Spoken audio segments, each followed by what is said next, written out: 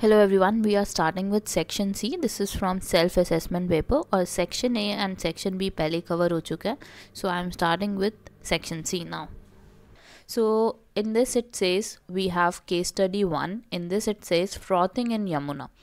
तो the primary reason behind the formation of the toxic foam is high phosphate content in the waste water because of detergents use in dyeing industries though be card Yamuna's pollution level is so bad that parts of it have been labelled dead as there is no oxygen in it for aquatic life to survive तो आजकल आपने देखा होगा यही हाल हुआ हुआ है बिल्कुल यमुना का। सारी टॉक्सिक फॉर्म ऊपर की तरफ़ आई हुई है वाइट वाइट सी। सो so, देखते हैं कि क्या क्वेश्चन हमसे पूछे गए हैं। Dependent on this. So we have first one, it says predict the pH value of the water of river Yamuna if the reason for froth is high content of detergent. तो detergent किसके बने होते हैं they are basically bases so अगर ये base हैं detergents हमारे और पानी में घुल गए हैं तो हमारा पीएच कैसा हो जाएगा it will be greater than seven so so, यहाँ पे अगर आप ध्यान से ऑप्शन देखो तो सेवन नहीं हो सकता क्योंकि सेवन तो न्यूट्रल होता है। फाइव टू सेवन नहीं हो सकता इसका मतलब एसिडिक हो जाएगा। टू टू फाइव नहीं हो सकता अगेन एसिडिक हो जाएगा। That means option A is correct which is ten to eleven Now moving to question number 50, it says which of the following statement is correct for the water with detergents dissolved in it. Water के साथ अगर detergent dissolve होते हैं तो हमें क्या मिलता है? ओ एच माइनस आयन जैसे कि लेट से आपके पास कोई डिटर्जेंट है ए ओ एच और वो कैसे आयोनाइज होते हैं? वो क्या फॉर्म करके देंगे हमें A plus and O H minus तो ओ एच माइनस कंसनट्रेशन बहुत ज़्यादा हाई रहती है। तो इसका मतलब क्या हुआ कि हमारा ए और डी पार्ट तो बिल्कुल कैंसिल हो गया, क्योंकि यहाँ पे दिया हुआ है लो कंसनट्रेशन यहाँ पे दिया हुआ है इक्वल कंसनट्रेशन हाई मैंने जैसे अभी आपको बताया कि हाइड्रो, हाई कंसनट्रेशन रहती है ओ एच माइनस की और दूसरी तरफ़ एच थ्री ओ प्लस की कम कंसनट्रेशन होती है, क्योंकि ये किसका पार्ट होता है? ज़्यादा एसिडिक का। So yes B is correct C भी नहीं हो सकता, क्योंकि यहाँ पे इन्होंने बोला कि दोनों की कंसनट्रेशन हाई होती है। नहीं this is not the case O H minus concentration bases में ज़्यादा होती है। Question number 15 says the table provides the pH value of four solution PQRS. We have pH value as 2, 9, 5 and 11. Which of the following correctly represent the solution in increasing order of their hydronium ion concentration? Hydronium ion मतलब H3O plus. तो जितना ज़्यादा हमारा acidic होगा solution उतना ज़्यादा उसके अंदर हाइड्रोनियम आयन होगा तो अब अगर ध्यान से देखो तो सबसे ज़्यादा एसिडिक कौन सा सॉल्यूशन है इट इज़ पी फिर उसके बाद, आपका कौन सा है? नेक्स्ट देखते हैं। नेक्स्ट है हमारा आर पी के बाद आर देन उसके बाद क्यू थर्ड नंबर पे और फोर्थ नंबर पे एस है। तो इसका मतलब अगर आप ध्यान से देखो तो कौन सी करेक्ट रहेगी हमारे लिए? सी क्योंकि हाईएस्ट हाईएस्ट हाइड्रोनियम आयन किसके पास होंगे? पी के पास which is there as a first value then R second पे था क्यू थर्ड पे था एस हमारा फोर्थ पे था. P has the highest concentration because it is acidic in nature acidic तो आर भी है, लेकिन थोड़ा सा कम है उससे. जितना ज़्यादा एसिडिक होगा, उतना ज़्यादा उसके पास हाइड्रोनियम आयन होगा. Now moving to question number fifty two it's is high content of phosphate ion in river Yamuna may lead to decrease level of dissolve oxygen increase growth of algae so first वाला ही मेरे को बिल्कुल correct लग रहा है। देखते हैं बाकी भी। Decrease level of dissolve oxygen and no effect of growth of algae तो यार अगर डिजॉल्व uh, ऑक्सीजन कम हो जाएगी ना तो आपकी जो एल्गाय की ग्रोथ हो जाती है वो बढ़ जाती है। आपने देखा होगा कि रुके हुए पानी में एल्गाय बहुत जल्दी आना शुरू हो जाता है।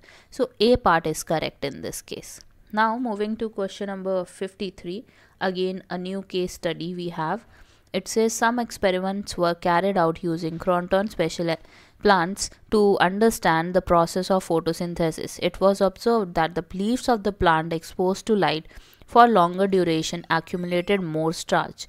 मतलब जितना ज़्यादा उन्होंने leaves को रखा light में उतना ज़्यादा वो starch create कर पा रहे थे However, due to presence of preformed starch in the leaves, it was difficult to find the net productivity on a fixed exposure to light source. Therefore, it was necessary to obtain starch free leaves in the plant before starting the experiment. इसका मतलब क्या है कि उनको क्या चाहिए ऐसा plant चाहिए एक्सपेरिमेंट के लिए जिसके पास स्टार्च ना हाँ हो क्योंकि वो जानना चाहते हैं कि कितना स्टार्च वो बना पा रहे हैं after exposing it to sunlight sunlight के बाद वो जानना चाहते हैं कि कितना मैक्सिमम स्टार्च क्रिएट हो पा रहा है तो यहाँ पे कुछ क्वेश्चंस हैं, उसको आंसर करने की कोशिश करते हैं।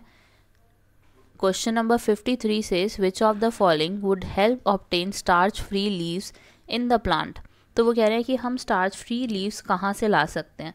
तो ऑप्शंस देखो, यहाँ पे हमें दिया हुआ है expose the leaves to blue light for 48 hours before starting the experiment second हमें दिया हुआ है keep the plant in dark for 48 hours before starting the experiment this one is correct exactly correct क्योंकि अगर आप 48 आवर्स के लिए dark में रख दोगे ना अपने प्लांट को तो वो स्टार्च नहीं बना पाएगा और स्टार्च नहीं होगा और फिर से हम उसको लाइट में रखेंगे तो स्टार्च दोबारा से बनना शुरू होगा और सारा कंज्यूम हो जाएगा पहले ही तो yes B is correct one C भी देख लो remove starch from the leaves by excess excess misses 48 hours before starting the experiment. This can't, this can't be done.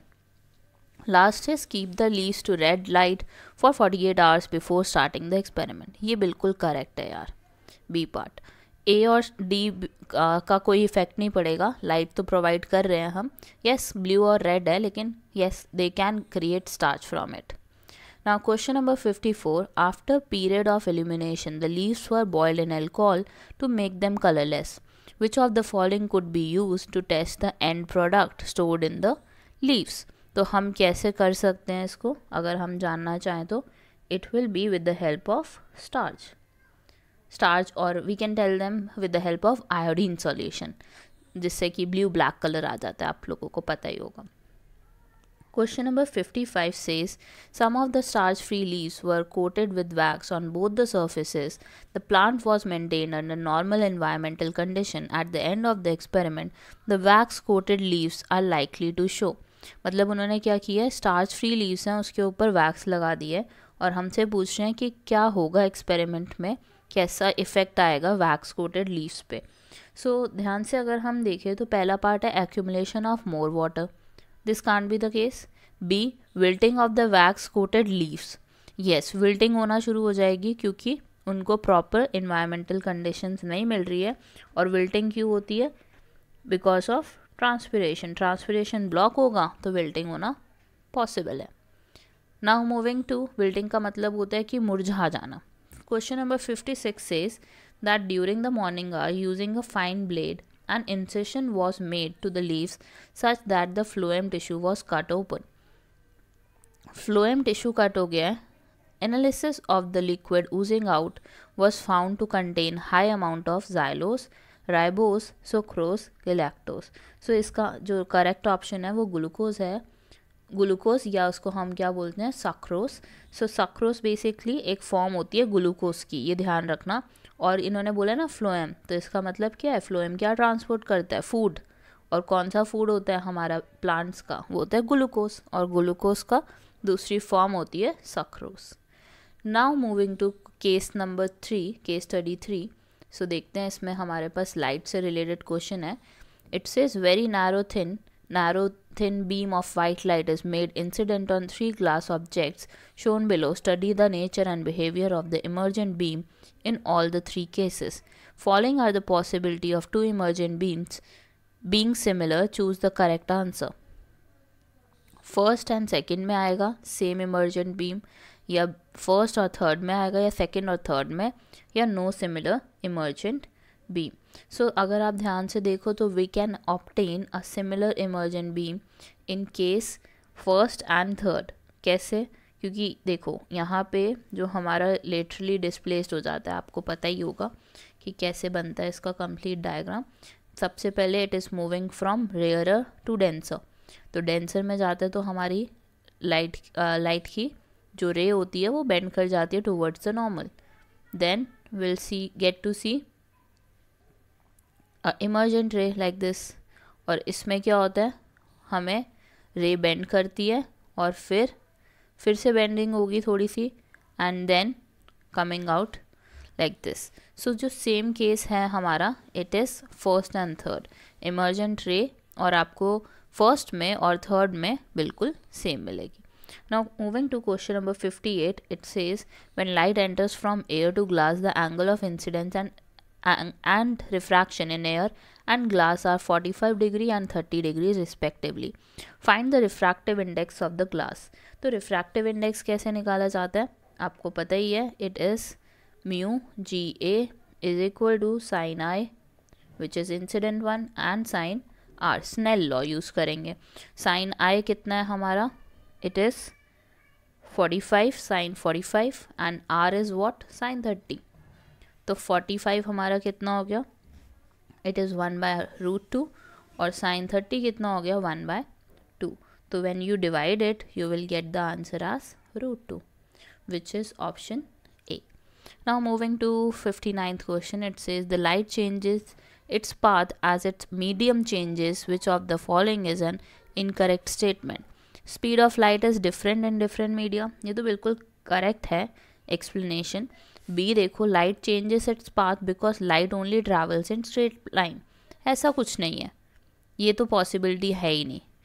Next देखते हैं speed of light is dependent on medium through which it is passing this is correct the light chooses the path with minimum time as it changes its medium this is correct as well तो यहाँ पे क्या है कि हमारा light path light इस वजह से नहीं अपने पाथ चेंज कर रही कि वो स्ट्रेट लाइन में ट्रैवल करती है।